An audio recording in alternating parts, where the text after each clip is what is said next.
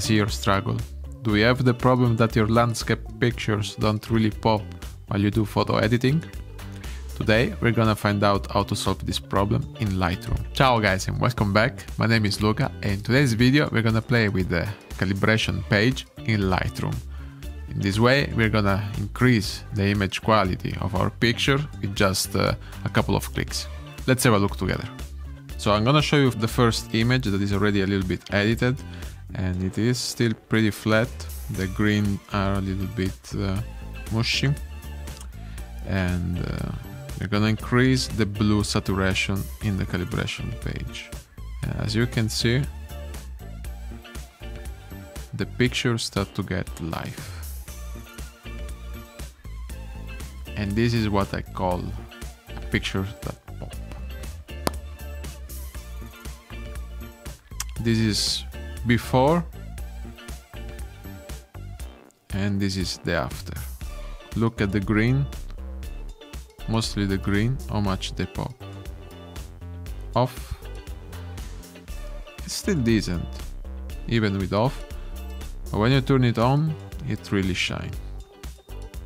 The blue is a little bit too much so we're gonna lower a little bit the color saturation here. And this looks pretty good to me. And if we want we can also play a bit with the green saturation bar. So you can see if we go all the way to the right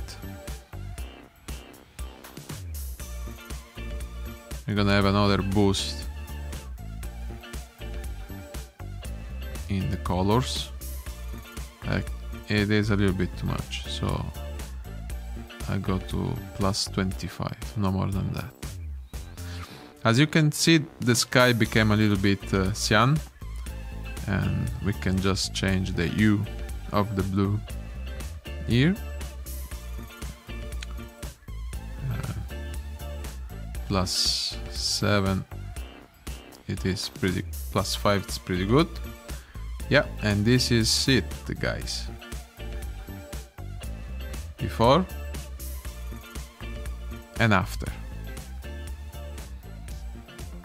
Before and after. Doesn't look better? This is also pretty good example. I did already the minor adjustments of this picture.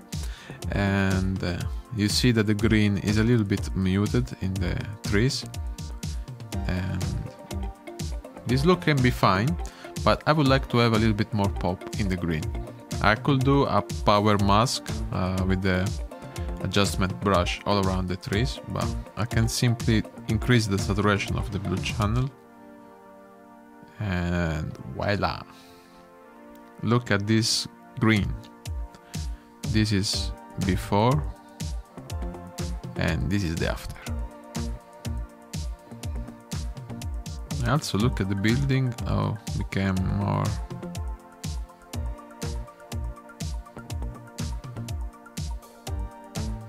poppy. Okay, this was shoot. This picture was shooted at pretty high ISO, I guess. No, 125, 50 millimeters, f1.8 1 over 60 what did I use for this? Camera was this. It's correction. Enable picture profile. No. Hmm. okay. It's not the sharpest picture that I took. But it looks good.